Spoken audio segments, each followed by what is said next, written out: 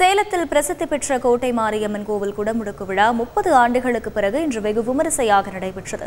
இதுகுறித்து பக்தர்களிடம் பேசினோம். தகவல்களை விவரிக்கிறார் செய்தியாளர் தமிழ்ச்செல்வன்.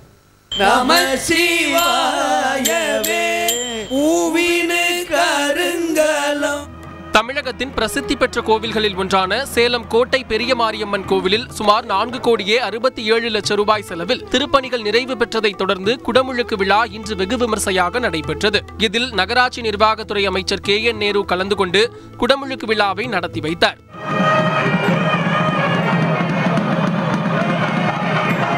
முப்பது ஆண்டுகளுக்கு பிறகு நடைபெற்ற இந்த குடமுழுக்கு விழாவில் தமிழகத்தின் பல்வேறு மாவட்டங்களில் இருந்து திரளான பக்தர்கள் கலந்து கொண்டு சுவாமி தரிசனம் செய்தனர். இதனிடையே குடமுழுக்கிற்கு வந்த பக்தர்களுக்கு இஸ்லாமியர்கள் இலவசமாக குடிநீர் வழங்கி அவர்களின் தாகத்தை தணித்த சம்பவம் நிகழ்ச்சியை ஏற்படுத்தியுள்ளது.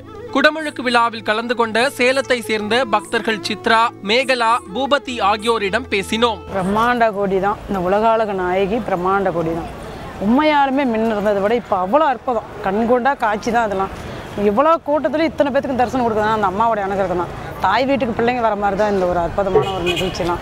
கோபுர தரிசனம் கோடி புண்ணியன்னு சொல்லுவாங்க. என்னுடைய வாழ்க்கையில் இன்றைக்கி நான் எல்லா பயனையும் திரும்ப எனக்கு கிடச்சிட்ட மாதிரி ஒரு ஃபீலிங்கு இந்த நாள் இந்த நேரத்தில் இந்த மண்ணை தொடத்துக்கு கொடுத்து வச்சுருந்துருக்கணும். இந்த அம்மன் வந்து ரொம்ப பிரசித்தி பெற்ற அம்மன். சந்திர கிரகம் சூரிய கிரகம்லாம் மற்ற கோயில்கள்லாம் இழுத்து சாத்துவாங்க. இங்கே வந்து நடை சாத்துற வேலையே கிடையாது. கா காரணம் காத்து நிற்கிற அம்மன்ட்டு. சேலத்துக்கு இவங்க காவல் தெய்வம்.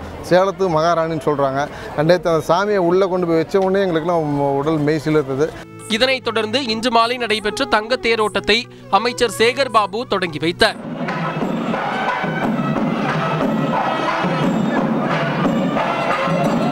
செய்தியாளர் தமிழ்செல்வன் வழங்கும் கூடுதல் தகவல். அடுத்து நாற்பத்தெட்டு நாட்களுக்கு சிறப்பு பூஜைகள் மற்றும் அபிஷேகங்கள் ஆராதனைகளுடன் நாற்பத்தெட்டு நாட்களுக்கு மண்டல பூஜை நடைபெற உள்ளதால் சேலம் மாவட்டமே விழா கோலம் கொண்டுள்ளது. அகிலா. நன்றி தமிழ்ச்செல்வன் செய்திகளை உடனுக்குடன் தெரிந்து கொள்ள உடனே சப்ஸ்கிரைப் பண்ணுங்க.